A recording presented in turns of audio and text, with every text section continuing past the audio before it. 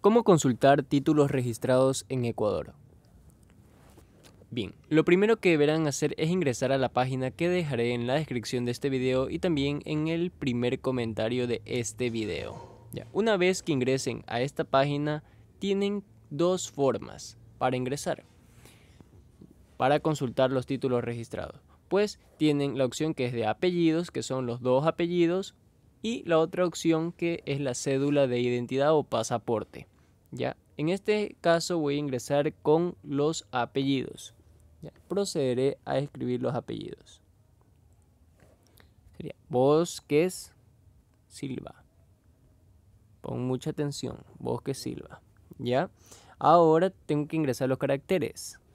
Entonces voy a colocar 1, W, 18. ¿sí? Ahora tenemos que dar pulsar en la opción buscar.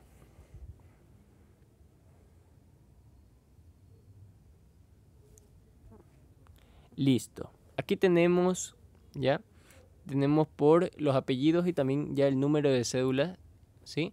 de esa persona. Entonces, en este caso me interesa saber de esta persona de sexo masculino, que es Bosque Silva Pedro Efraín, entonces voy a ingresar aquí, ver información. ¿Ya?